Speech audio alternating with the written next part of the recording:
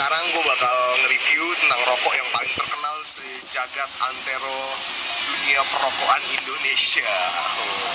Semua orang yang ngerokok sih gue rasa pasti pernah nyoba. Nah, gue mau review ini tuh kayak iseng-iseng aja. Eh, menyatakan kecintaan gue terhadap rokok ini. Dia bungkus rokoknya, oh ya, sebelum itu jargon dia ini tuh banyak. Dia punya jargon go ahead, bukan bahasa basi, ya banyak lah. Tapi yang paling terkenal sebenarnya bukan bahasa basinya itu. Kayak, dia bahkan di sini ada di inscribe juga bukan bahasa basi gitu, terus terus di sininya. Nah dia yang menariknya juga tuh dibungkusnya dia tuh sebenarnya biasa aja ya.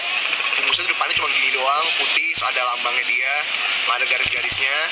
Nah belakangnya itu tuh ada kayak gambar singa apa segala, ada tulisannya juga uh, balance a balanced blend of Java aromatic American and other high quality tobacco apa segala gitu. Pokoknya intinya menyatakan bahwa dia tuh uh, campuran dari banyak bakal cengkeh apa segala yang enak.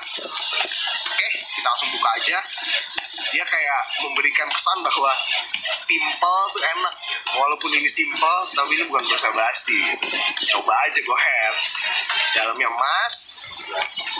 Dan juga kalau untuk bentuk rokoknya ya, gue rasa lu semua udah tahu ya bentuknya begini. Ini bentuk klasik. Gue rasa juga kebanyakan rokok tuh enggak sih, gue nggak tahu ya. Tapi mungkin dia mengambil bukan niru tapi ngambil role model dari ini. Karena emang ini keren simple tapi simple yet realistik keren bukan basa basi gitu. Mungkin gue juga nggak tahu ya gue kurang tahu. Tapi seingat gue ini rokok mild pertama di Indonesia. Atau mungkin yang pertama terkenal gitu.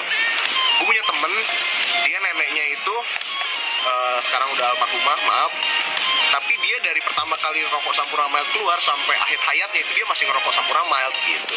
Dan dia bahkan dapat penghargaan dari Sampurna Mild tuh untuk uh, kalau nggak salah 35 tahun atau berapa tahun gitu merokok Sampurna Mild. Jadi dia dapat penghargaan gitu gitu.